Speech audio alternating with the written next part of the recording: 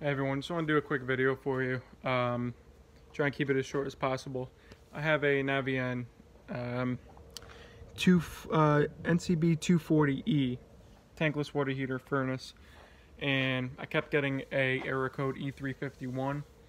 Um, searched online, didn't really find much. Um, some guy suggested changing the water pressure sensor. I did that brand new. Um, didn't work. Uh, still was having an issue.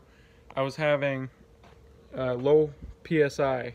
It was about 10 when it wasn't calling for anything. Um, so I'm going to show you how I fixed it and hopefully it'll help you. So let's start by taking the cover of this off so I can read you what the error code is, even though I'm sure you already know.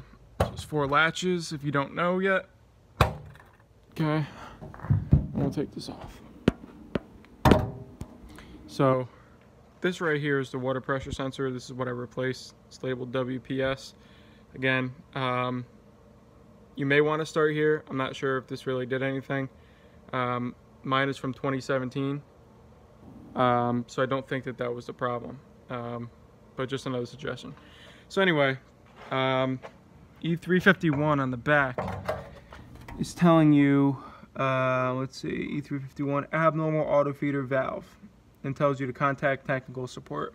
When I did that, um, he asked me if I was a contractor or a homeowner. Once I told him I was a homeowner, he told me hire a contractor. So don't don't waste your time. So the way I fixed it was this right here. Um, forgive me on my terminology, um, but this controls and you're able to adjust your water pressure for your system. Um, so what I did here is I believe they call it force filling. Um, you take this lever here and you push up.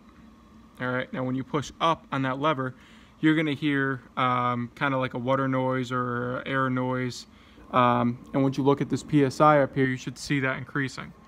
Um, I would suggest doing this while all the thermostats are off, no hot water is being called for. That way you can see the correct pressure um, when there's nothing being called.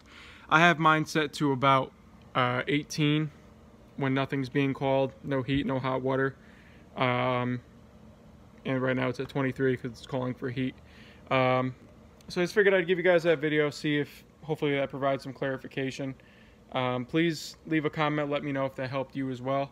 I'd love to know if I can help somebody. Um, one last note, just some of the um, symptoms I was having was I would be in the shower, the water would go from extremely hot to extremely cold. Um, the heat wouldn't get up to temperature. Um, so when I finally come down, I would see on the LCD screen, it would say E351.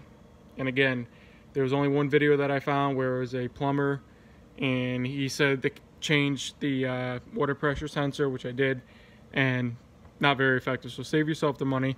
I don't know if it's a temporary or permanent fix, um, but by doing this, I would assume it's temporary. But I've been good for you know three weeks, almost a month now, and the pressure hasn't dropped from what I've set it to last time. So again, uh, let me know if this helps you. Drop a comment. All right, thank you.